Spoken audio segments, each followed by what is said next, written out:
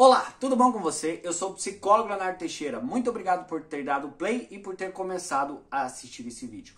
Conta pra mim, você já ouviu falar sobre o TDO ou o transtorno desafiador opositivo ou opositor, como você preferir falar? Sim ou não? Você sabe o que é isso?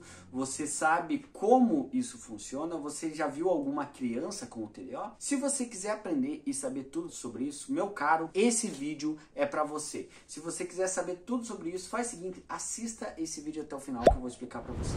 E se por acaso você é novo, se por acaso você caiu de paraquedas aqui no canal, vem aqui, ó, se se inscreve no canal e ativa o sininho para não perder os próximos vídeos, porque toda semana tem três vídeos novos sobre psicologia aqui e vem ser membro aqui do canal beleza? O TDO, transtorno desafiador opositor, positivo, ou também conhecido como TOD, geralmente acontece na infância. E a criança tem os sentimentos de raiva, impulsividade, angústia, agressividade, geralmente direcionada a pessoas que trazem alguma autoridade. Vou dar um exemplo. Esses sentimentos de raiva, de agressividade, de desafiar, por isso que vem desafiador, opositor, de desafiar, de criar oposição, pode pode ser na professora, no diretor da escola, no pai, na mãe, é em todo mundo que representa a autoridade. A criança sente essa necessidade, sente isso intrinsecamente, né, essa agressividade, essa raiva de pessoas que traz autoridade. Através disso, os principais sintomas de uma criança com TDO são agressividade, irritabilidade, desobediência com pessoas mais velhas. A criança que tem esse transtorno TDO,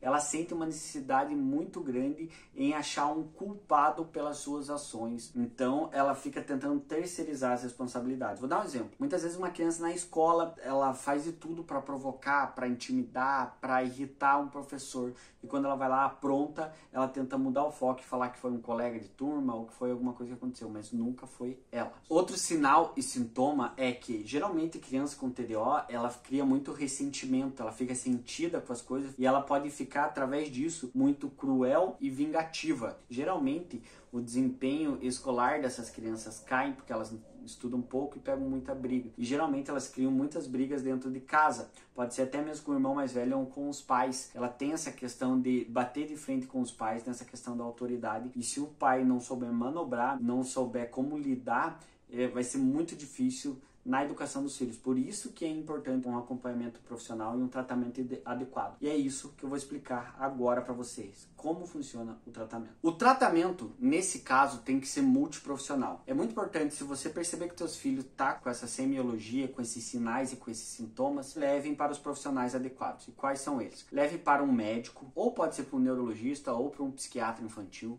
para fazer a avaliação dele, para ver se não tem nenhum outro transtorno associado, para ver se não tem nada além do transtorno desafiador ou positivo, não que ele seja pouco, tem que cuidar muito, mas para ver se não tem nenhum transtorno junto com ele. Então é muito importante que você faça esse acompanhamento e além disso, fazer um acompanhamento psicoterapêutico, procurar um psicólogo fazer psicoterapia. Porque o psicólogo vai ensinar você a como lidar com o teu filho, vai te dar orientações em como trabalhar com o teu filho. Através disso, eu tenho uma ótima notícia para você.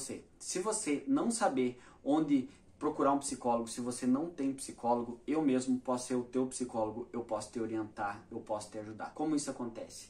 Faz o seguinte, vai lá no meu Instagram, se você quiser fazer uma consulta comigo, se você estiver precisando de ajuda, eu quero te ajudar. Vai lá no meu Instagram, Leonardo F. Teixeira. O link está aqui na descrição do vídeo também. Chega no meu Instagram, me segue lá no Instagram, já vai lá e me manda um direct, me manda uma mensagem que eu mesmo vou responder você e eu posso marcar uma consulta para você ou teu filho, independente de que lugar do mundo você esteja, através de uma chamada de vídeo, eu vou fazer uma avaliação, vou fazer uma anamnese com você, que é pai, que é mãe, enfim, e para ajudar, beleza? Me manda lá, a gente pode marcar uma consulta, me manda um direct lá.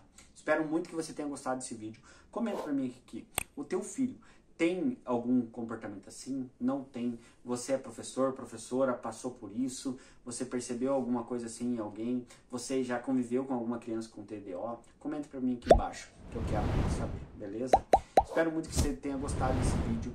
Não se esquece de sair desse vídeo antes de se inscrever no canal e ativa o sininho para não perder os próximos vídeos, tá? E vem ser membro do canal para receber conteúdo. Um grande abraço, tamo junto, valeu!